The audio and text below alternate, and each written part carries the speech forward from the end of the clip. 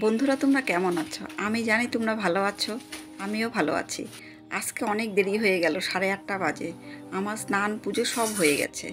এখন চা করাটা দেখালাম না, চা খাওয়াটা তোমাদেরকে দেখাচ্ছি একটু। তাড়াতাড়ি করে চাটা খাচ্ছি।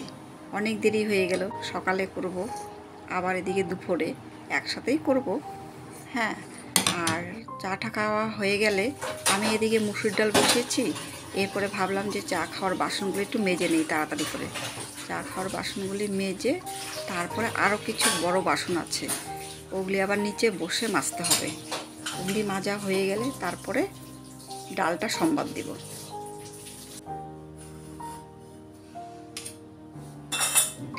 এখন সবজি কাটতে বসলাম।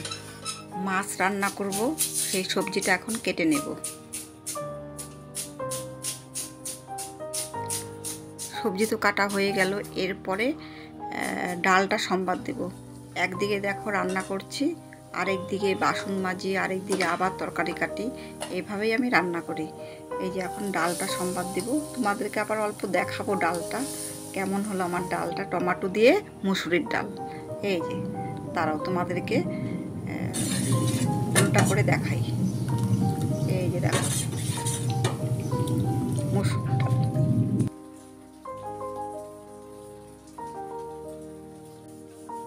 রান্না হয়ে গেছে। এখন কিছু বাসন আছে। ওগুলি মেজে রান্নাঘর মুছে পরিষ্কার করে নিব। এরপরে সন্ধ্যাবেলা একটু মিষ্টি বানাবো।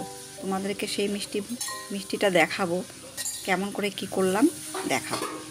ঠিক আছে বন্ধুরা?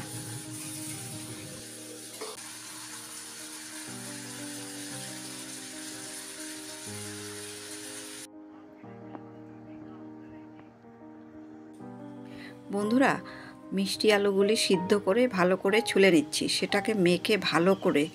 তারপরে সেখানে সুজি, ময়দা, বেকিং পাউডার আর হচ্ছে রেড ফুড কালার মিশিয়ে ভালো করে মেখে তারপরে গোল গোল করে তেলে ভেজে নিলাম।